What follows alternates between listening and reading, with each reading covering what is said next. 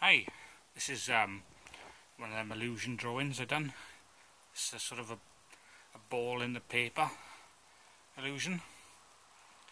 So it looks. I think it works best from that angle. So it looks from above.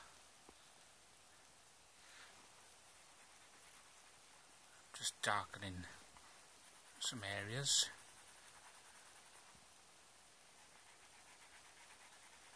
Like that.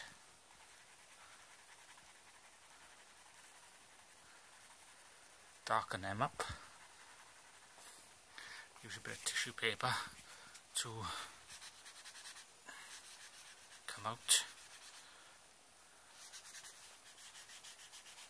like this.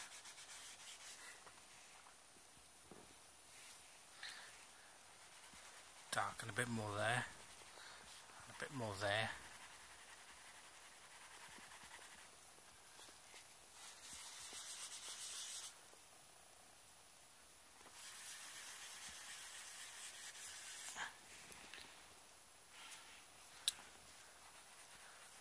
on the sides I think.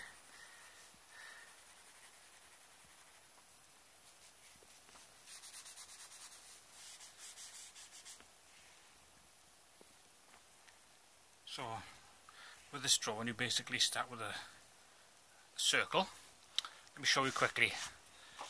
Start with a circle and you're then drawing lines like this.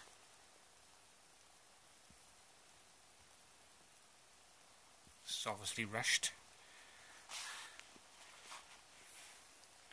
And then do some straight lines across there like that. And then you start to bend these lines like that.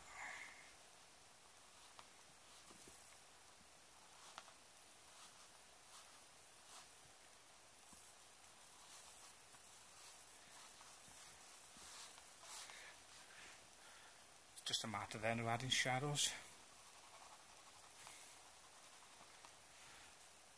It's not, it's not complicated, nothing. This is very quick how to do it, you know. There are tutorials, proper tutorials on YouTube, but um, if you take your time, that's how it looks.